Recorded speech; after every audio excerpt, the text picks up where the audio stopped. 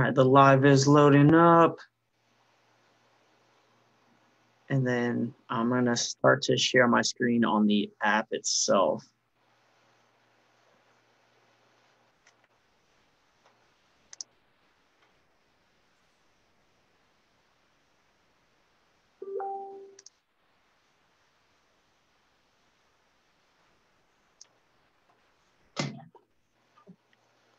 All right. So I should be able to see my screen now. Okay, yep. All right, so this is the opening of the Robinhood app. So where we'll be at in looking at the app. So it starts off with your investing account. So when you're using the app, basically Robinhood, you should have fractional shares of available. If not, right at the top, you can see there's a free stock option. When you click on that, you can share this app out and anyone that downloads this app and you share and invite them, you can get a free stock on Robinhood.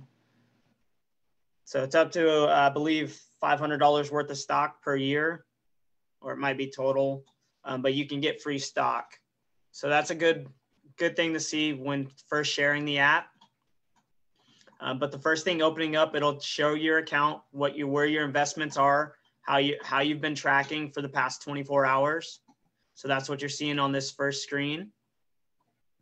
And then you can change that time frame from a day to how well you've done in the last week, how well you've done in the last month, the last three months, and then the last year, and how well you've done all time. So when you're tapping on each of, that's what each of these different uh, options are. So you have the live of how it is right now. You have the one day, which is 1D is one day. And then you have 1W, which is one week. It'll show you how your how your how your portfolio has been doing for the past week. And then you have the 1M for one month. So it'll show you how your portfolio has been doing for the last month.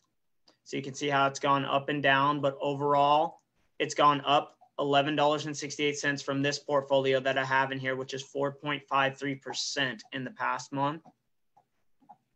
In the past three months, it's gone up 30% or $62.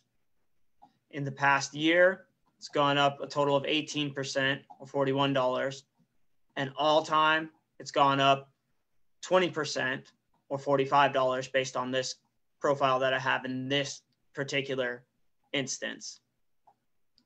The next piece is you can see your available cash, which is your also your buying power. So you can see what you have available to spend in the app.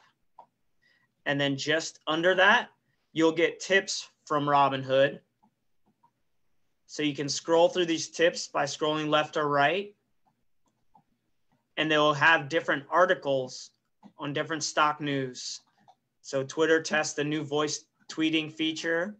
And so you can go through all of these options to get some insight on some of the big news that is moving for the day.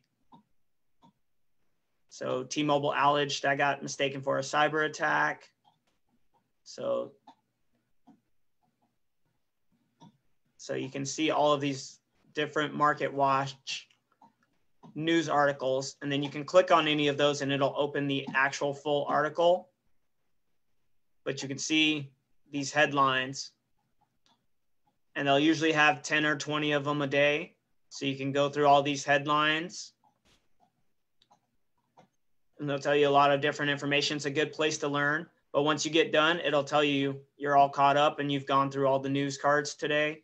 But you can always just start it over if you if you wanted to go back or you skipped one too fast or you actually wanted to read a full article.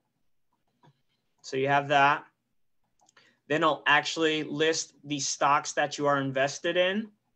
So it'll show the different shares that you have from the, the different investments of stocks and then it will go into the cryptocurrencies uh, that you have on your list, which you can watch list them and it'll show the ones that you have investments in. So you can see I have a couple of them invested and I have a couple of them that I watch. And then I have stocks that are on my watch list.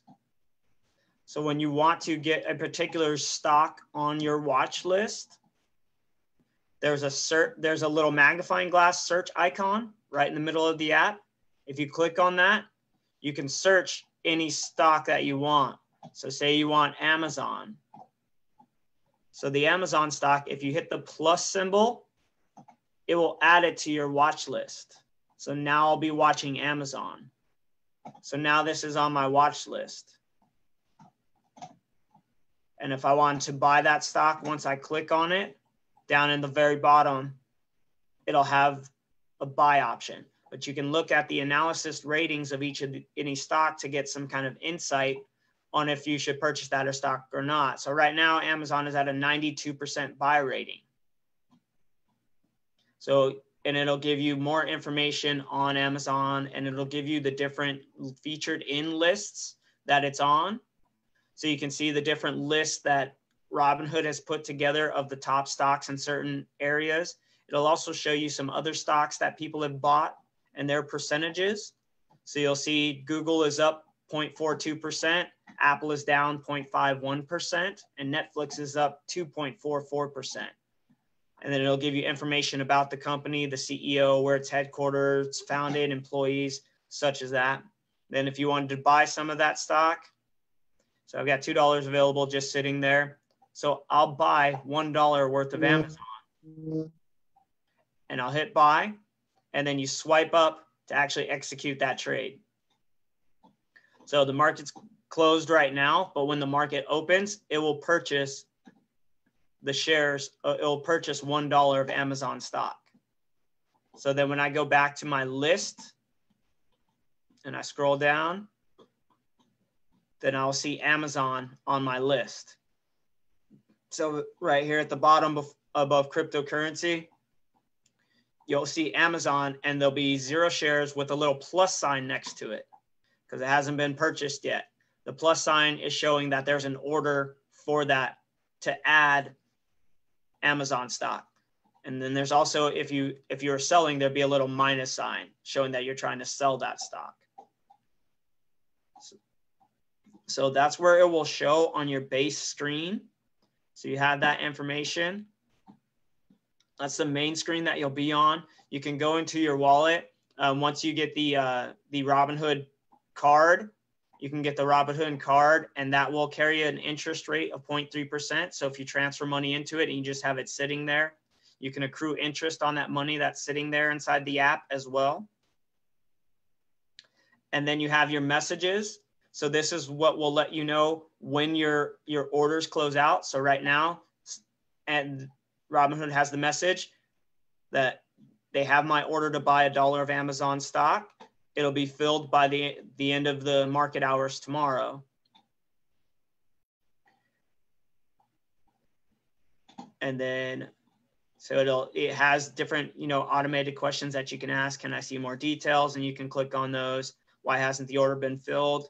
The order hasn't been filled because it's after hours right now but they'll give you article and help help icon help information if you need to click on any of those options but the messages will show you you know what's recently happened. So here was a deposit that i made. Shows me more about the deposit. Then it'll show my my recent buy order. So this is nine days ago. So my order has completed and it tells me the price it bought at per share. And then you have your profile, which is the last icon on the bottom is your profile, which you can transfer money back and forth. You can change your investment style. If you want to increase your buying power, you can increase your total and then you can increase your uh, account status.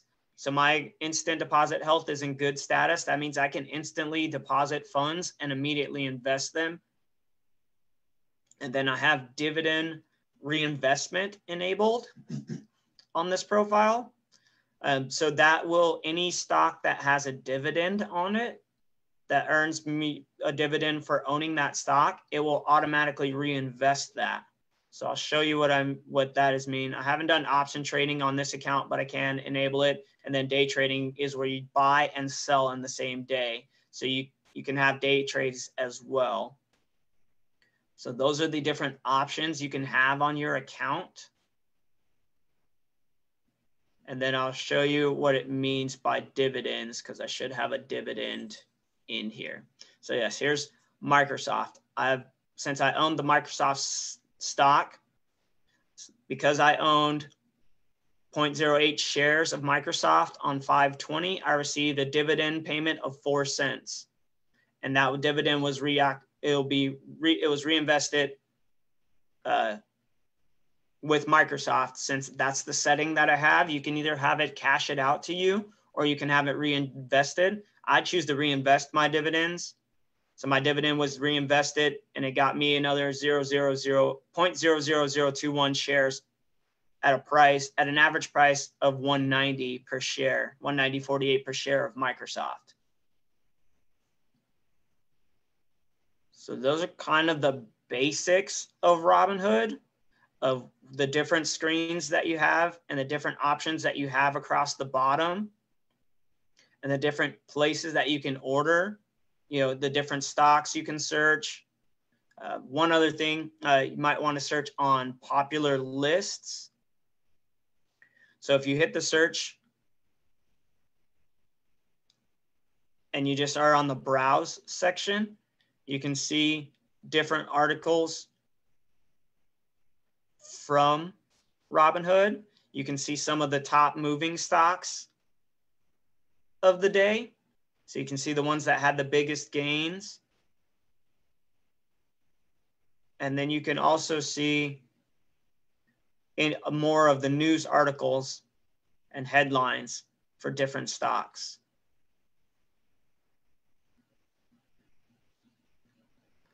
So there's quite a few different things that you can look at.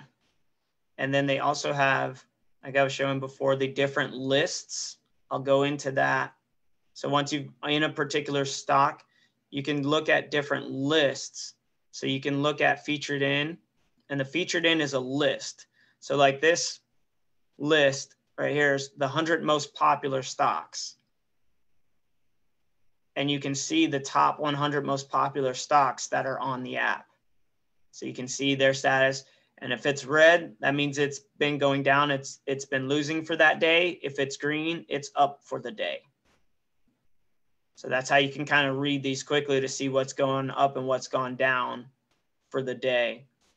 But then you can click on any of those stocks and see the actual percentage and where it actually moved. And then you can see the analysis they always have the analysis ratings on there for you. This one has a 73% buy rating. And, you know, it opened today at $4.46. The high of today was $4.50. Today's low was $432 or $4, I'm sorry, $4.32. But then you can see the 52 week high. That's how high it's been in a year. And then the 52 week low is how low it's been in a year and then you can see the the volume movement of 3 million and then you have the average volume of 8 million and you can see their market cap of how much of the market they have in their industry of 1.17 billion market cap.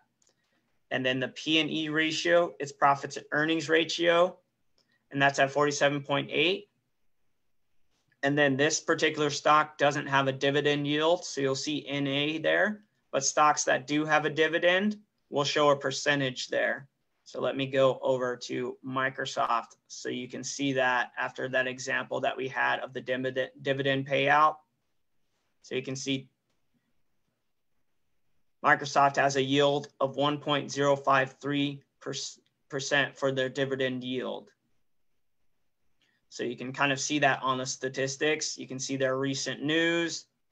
And right now their rating is an 88% buy rating. So you can see the buy ratings, the hold ratings, and the sell ratings by percentage on each, each and any stock that you want to look up. And you can use that by the search. So you can always look up different stocks or different lists. So if you want to go top movers or top 100, um, you can look at any, all kinds of different lists and industries. If you want to look at like a technology one, you can look at, you know, the technology industry.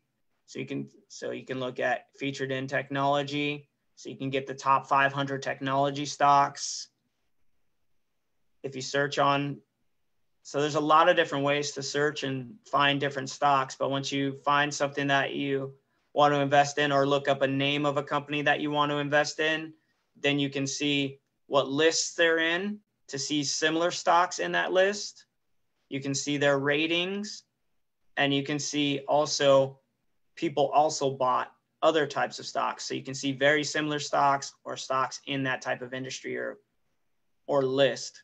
So if you wanted to move over to telecommunications, you can see the top stocks here in this list. And you can sort them by at the top right menu, the three dots, you can sort them by their price or their percentage that they changed by. So if you want to see how much they moved, you can see both of those options. So there's a lot of good tools in here and a lot of good search features. And then the best part that I like about Robinhood is the fractional shares to where you can buy, you know, a dollar of a, of a large stock like Amazon so the true price of Amazon, a full share of Amazon would be $2,639, but you can purchase, you know, what you want of it. So you can purchase the uh, the one stock, you know, the one dollar or as much as you need of it. So I'll go ahead and unmute you and let you know if there, uh, let me know if you have any other questions or anything else that you wanted to see on the app.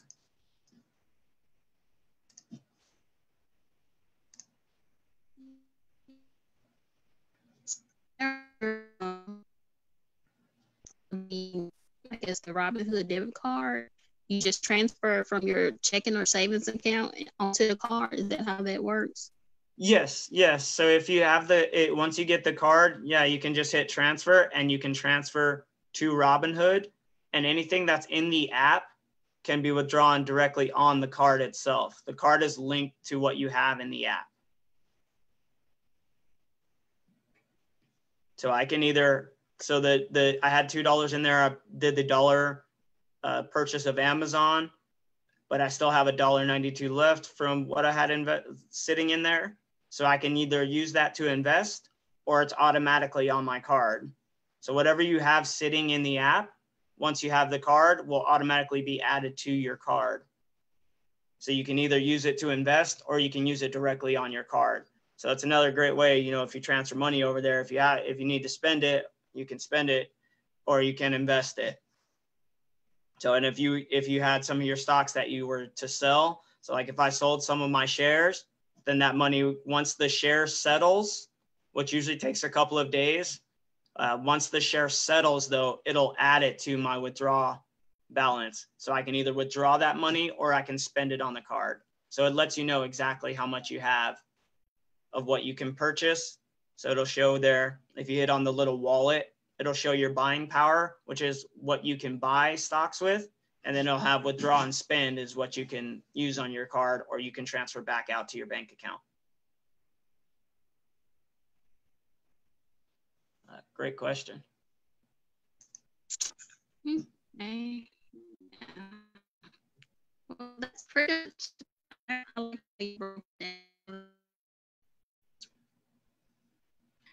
of it. Okay, I broke up a little bit there. Did you have any other questions?